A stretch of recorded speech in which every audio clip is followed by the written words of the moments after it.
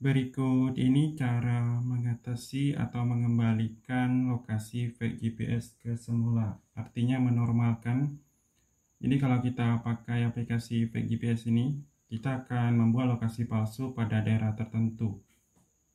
Jadi kalau fake GPS lagi aktif, kalian matikan saja. Seperti ini. Bisa dari sini, dari panel notifikasinya pilih pause ini atau jeda bisa juga dari dalam aplikasinya kalian buka.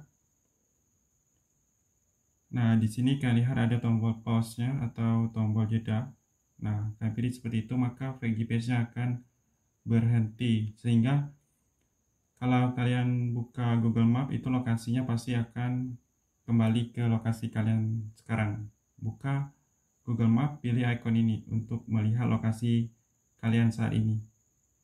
Kalau tidak mau kembali seperti ini, kalian bisa matikan dulu HP-nya, tekan lama.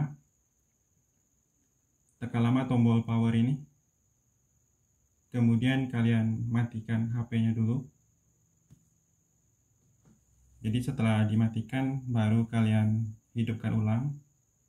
Nah, sekarang setelah di restart itu buka Google Map untuk melihat lokasi kalian sudah kembali atau belum. Pastikan lokasi aktif. Nah, lokasi yang ini pilih icon ini. Kemudian kalau masih tidak bisa juga, kalian lihat settingan dari GPS-nya. Kalian tekan lama pada lokasi. Kemudian lihat di sini pemindahan WiFi dan Bluetooth, aktifkan.